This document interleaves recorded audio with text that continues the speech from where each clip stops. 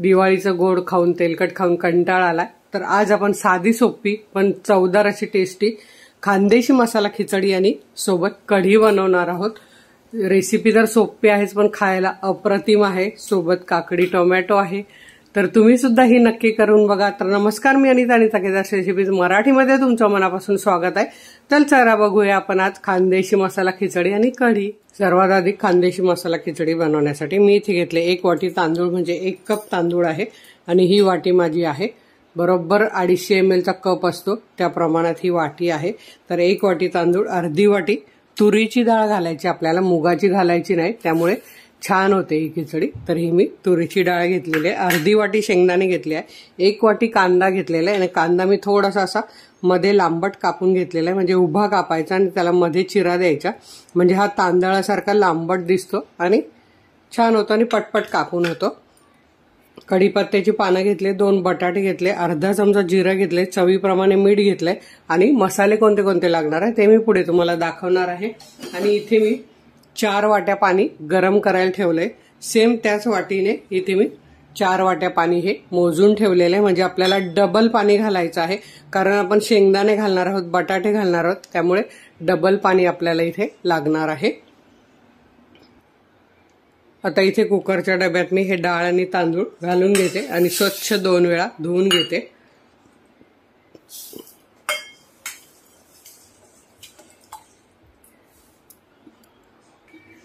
आता इथे मी स्वच्छ धुवून कुकरच्या डब्यात भिजत ठेवलाय. एक कांदा बिंदा परतेपर्यंत पाच ते सात मिनिटं ही छान भिजेल. जास्तही भिजवायची गरज नाही.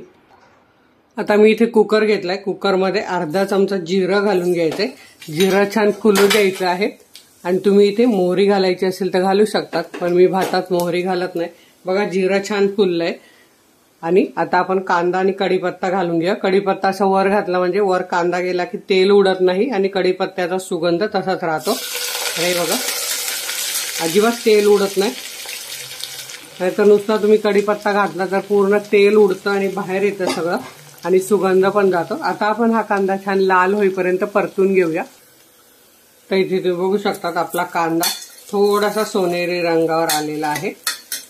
आता त्यावेळी आपल्याला काय करायचे यात शेंगदाणे घालायचे म्हणजे शेंगदाणे पण परतले जातील. आणि अजून दोन मिनिटं आपल्याला हा कांदा छान परतून घ्यायचा आहे. मध्यम गॅस ठेवायचा म्हणजे छान परतला जातो. तर इथे दोन मिनिटं झालेले आपला कांदा शेंगदाणे टाकल्यावर परतून. हे बघा छान असा परतच आलाय. आता आपल्याला घालायची यात आलं लसूण पेस्ट आणि हिंग. तर आधी हिंग घालायचं आहे दोन चिमूट. आणि छान परतवून घ्यायचं आहे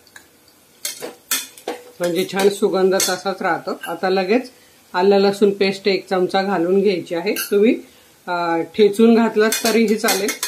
माझ्याकडे असते बनवलेली आणि कशी बनवायची अगदी बघा हिला दीड ते दोन महिने होत आले. आईस बॉक्समध्ये ठेवते मी म्हणजे डीप फ्रीजरला पण त्याचा रंग तसाच आहे. त्यात एक सिक्रेट चीज मी घातलेली आहे सिक्रेट पदार्थ. त्यामुळे त्याचा रंग काळा पडत नाही आणि छान होते हे बघा. मस्त आल्या लसूण पेस्ट अर्धा मिनिट परतून झालेली आहे. आता इथे मी घेतले हा माझा काळा मसाला. दोन चमचे घेतलेला आहे कारण आपली एक वाटी तांदूळ अर्धी वाटी डाळ येतात दोन चमचे.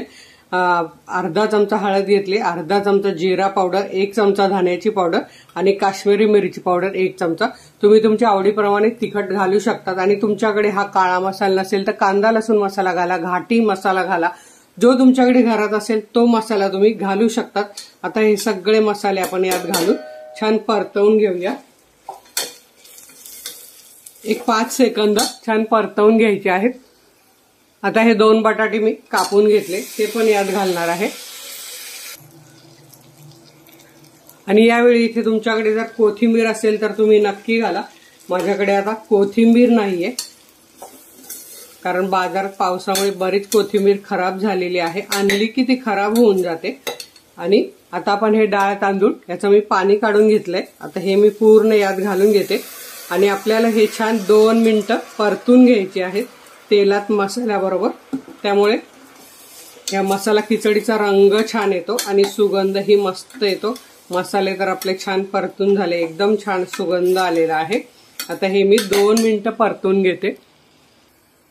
आणि आता हे आपलं छान तांदूळ मसाल्यात परतून झालेलं आहे. एक दोन मिनटं. बघा मस्त सगळीकडे रंग आलाय. आता आपण हे जे गरम पाणी करून घेतलंय ते घालून घेऊया.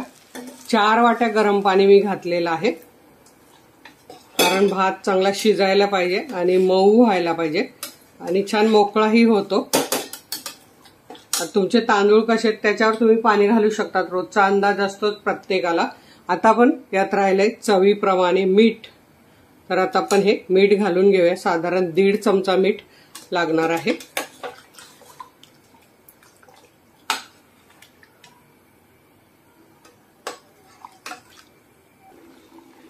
आणि इथे बघा आपल्या भाताला छान उकळी आलेले एकदा असा हलवून घ्यायचा छान खालपासून. आणि आता याला आपल्याला झाकण लावायचं आहे आणि मध्यम गॅसवर दोन शिट्ट्या करून घ्यायच्या आहेत. तर दोन शिट्ट्या झाल्यावर मी तुम्हाला दाखवते. आता आपण कढी बनवून घेऊया. तर मस्त आपल्याला मसाला खिचडी बरोबर कढी बनवायची त्यासाठी मी एक छोटा चमचा मोहरी घेतली एक छोटा चमचा जिरा घेतलेला आहे. ह्या तिखट मिरच्या आहेत. लाल पण त्यात झालेल्या त्या पण मी घेतल्या आहेत. दोन हिरव्या मिरच्या दोन लाल मिरच्या. असं घेतलेल्या आहे. तुम्ही तुमच्या आवडीप्रमाणे जेवढी पाहिजे तेवढी तिखट घालू शकतात. किंवा मग तुम्ही त्यात वाटून पण घालू शकतात. तर माझ्याकडे अशीच आवडते त्यामुळे मी तशी कढीपत्त्याची दहा ते पंधरा पानं मीठ चवीप्रमाणे आणि आपल्याला मेन लागणार आहे ते म्हणजे दही. आणि इथे बघा माझ्याकडे नेहमीच असं दही असतं. घट्ट बनलेलं मस्त. हे बघा इथे तुम्ही बघू शकतात. यातलं मी दोन वाट्या दही घेणार आहे. म्हणजे दोन कप दही मी घेणार आहे. तरी माझ्याकडे नेहमीचीच वाटी आहे. आणि आता हे दोन वाट्या त्यातलं मी दही घेतले. ते छान असं फेटून घेणार आहे. आणि फेटताना त्यात घालायचं आपल्याला हे बेसन अर्धी वाटी. तुमचं दही कितपत आंबट आहे त्यानुसार तुम्हाला बेसन वाढवायचं. तर मी आंबट कढी छान लागते म्हणून मी आंबट दही घेतलेलं आहे. आणि आता हे छान आपल्याला फेटून घ्यायचं आहे. सगळं एकजीव झालं पाहिजे किंवा मिक्सरच्या भांड्यात पण आपण फिरवून घेऊ शकतो.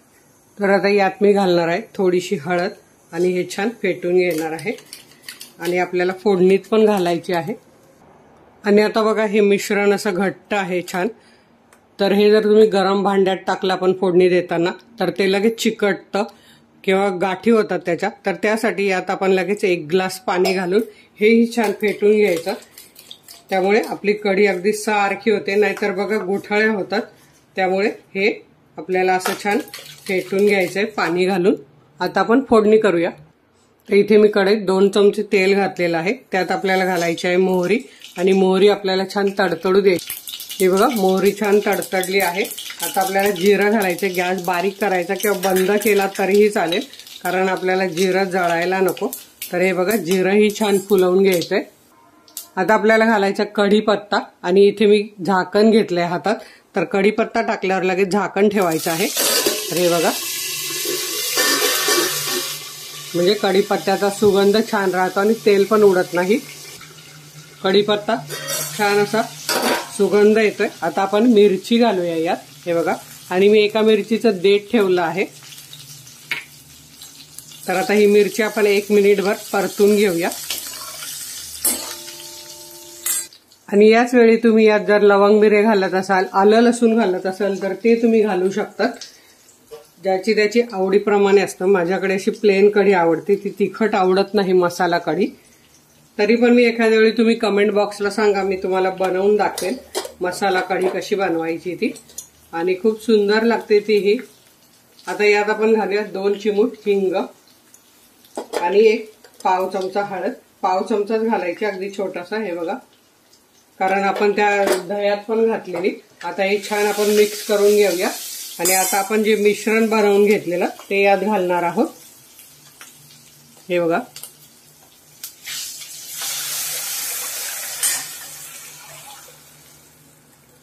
आता हे बेसन पीठ आणखी फुलणार आहे. त्यामुळे आपल्याला आणखी आता एक ग्लास पाणी घालायचं आहे. हे बघा. मस्त सुगंध येतोय मिरचीचा कढीपत्त्याचा. आणि रंग तर तुम्ही बघू शकतात. आता अजून मी यात थोडं पाणी घालणार आहे कारण घट्ट आहे. माझ्याकडे मध्यम आवडते कढी. तुमच्याकडे जर एवढी घट्ट पाहिजे असेल तर तुम्ही एवढंच ठेवा. तर इथे बघा आपल्या कढीला मस्त उकळी यायला सुरुवात झालेली आहे. आता उकळी आल्यावर आपल्याला काय करायचंय यात दोन चमचे साखर घालायचे तुमच्या आवडीप्रमाणे. तुम्हाला अशीच आंबट आवडत असेल तर तुम्ही नाही घातली तरीही चालेल. पण माझ्याकडे अशी आंबट गोड मस्त कढी आवडते. तर मी दोन चमचे साखर घातली. आता ती छान हलवून घेते आणि गॅस बंद करते. आणि तुम्हाला दाखवते खानदेशी मसाला खिचडी आणि कढी. तर हे बघा कुकर छान थंड झालाय पंधरा मिनिटं. शिट्टी अशी वर करून बघायची. आणि इथे आपली मसाला खिचडी तुम्ही बघू शकतात.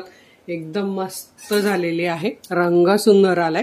कुकर उघडल्या उघडल्या छान मस्त सुगंध सुटलाय. आणि इथे बघू शकतात एकदम मऊ आणि मोकळी अशी छान झालेली आहे.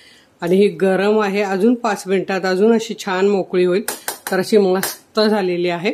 आणि सोबत आपली कढी पण मस्त झालेली आहे. ही बघा. तर तुम्ही सुद्धा अशी मस्त मसाला खिचडी आणि कढी बनवून बघा. आणि तुमचे रिप्लाय मला जरूर कळवा. आणि आणखी कोणते कोणते रेसिपी तुम्हाला बघायला आवडतील ते मला कमेंट बॉक्सला जरूर कळवा. तर वेळात वेळ काढून व्हिडिओ बघितल्याबद्दल तुमचे मनापासून धन्यवाद अशाच माझे छान छान रेसिपी बघा बनवा खा आणि हेल्दी राहा. धन्यवाद.